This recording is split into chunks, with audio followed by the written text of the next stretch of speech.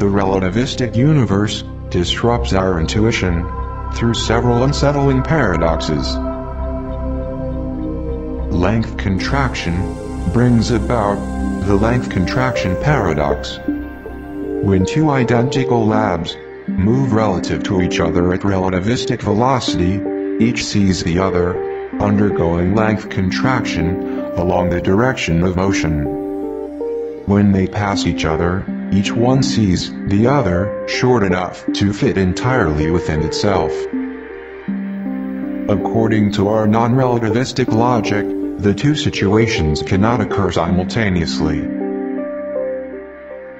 So, how can this be?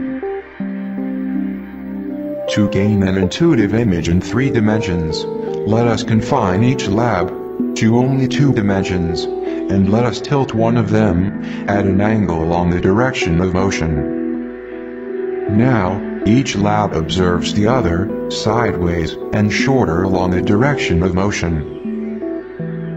Moreover, orthographic projections of their three-dimensional views look very much like in the length contraction paradox.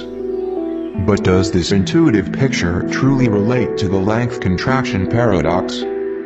The answer is positive, provided the third dimension is replaced by proper time in speed of light units. As discussed before, moving objects are observed in veritable space-time cross-sections, across a finite length of their proper time. The length contraction paradox arises because different objects, in different inertial frames, observe each other, according to different space-time cross-sections. Now, let us consider an arbitrary point in time, and let us assign, to each point of our two-dimensional, relativistic labs, a third coordinate, equal to its proper time, as observed in the stationary frame. The stationary lab is simply displaced along the proper time axis, since all its points have the same proper time, equal to the time of the stationary frame. But the moving lab becomes tilted along the direction of motion, at an angle that exactly compensates for its length contraction. That is, in the new tilted space-time position, the moving lab length scale appears as seen at rest in the moving frame itself.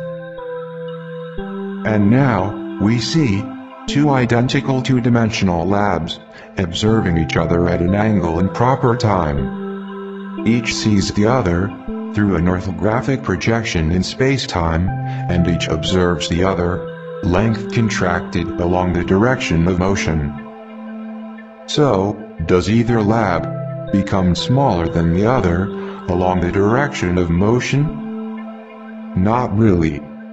Only their observed space-time cross-sections do, because they see each other at different space-time angles in their respective time orthographic views of space-time. We can say that the length contraction paradox arises simply because we lack proper time, depth perception,